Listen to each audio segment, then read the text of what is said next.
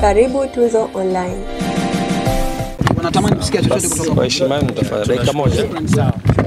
Yes. President, hongera sana kwa hiki ambacho kimetokea kwa Young Africans. Takriban miaka 25 imetafutwa hii tiketi na imepatikana.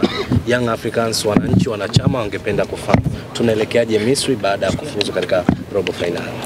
Nashukuru. Uh, kwanza ni jambo kubwa, Mwenyezi Mungu ameleta baraka zake. Uh, Young Africans imequalify kwenda hatua ya makundi. Kwa kweli katika hali ya kawaida ni jambo ambalo ka safari hii sasa hivi ingekuwa ni safari ambayo tunaenda kutafuta points kwa ajili ya either kuwa mshindi wa kwanza au mshindi wa pili au kuqualify.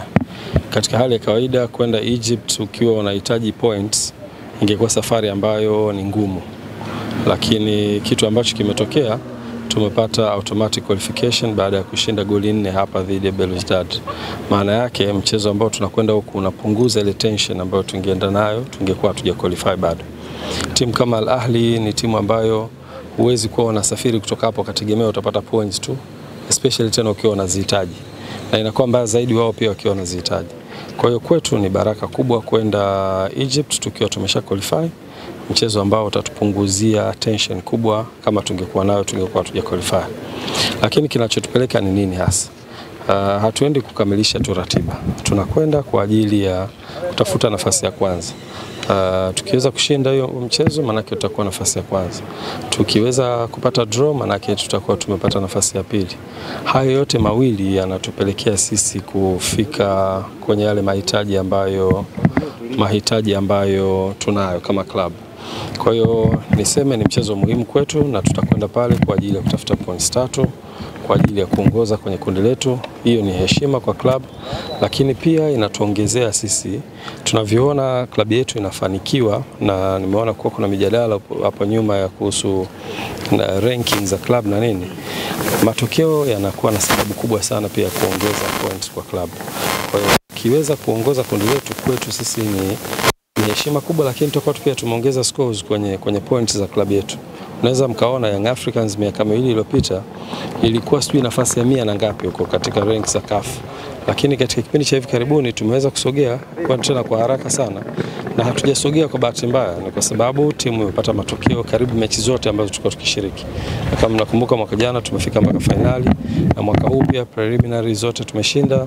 Ukija kwenye hatua ya makundi pia tumepata matokeo mazuri. Kwa hiyo na hii pia ni sehemu ya matokeo ambayo tunahitaji ili kuendelea kuisogeza mbele klabu yetu.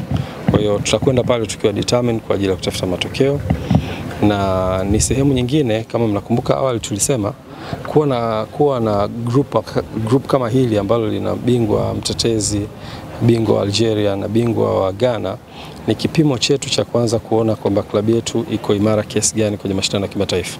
Mwaka jana tumejipima vizuri, tulivyotolewa kwenye Champions League tukaenda kujipima kwenye Confederation tukafika fainali. Mwaka huu tumekuja sa Champions League uh, tumequalify kuingia hatua ya makundi na baada ya hatua ya makundi tumequalify tena kuingia kwenye hatua ya robo finali. Hicho ni kipimo kizuri. Sasa um, hauwezi kwenda katika hizi level kubwa kama hujakutana na watu wakubwa na uka challenge. Tunaenda kukutana na Al Ahly ambaye anacheza nyumbani, tuende tukajipime, tujione tumefikia wapi na hiki ni kipimo kingine ambacho kitatufanya tuanze kujitathmini mapema kuhusiana na approach zetu kwenye level ya robo finali ambayo klabu imesha qualify. Kwa hiyo inshallah tunaomba tunaomba Mwenyezi Mungu atutakie safari njema huko tunapokwenda. Uh, tuende tukaipigania timu yetu tupate matokeo turudi salama.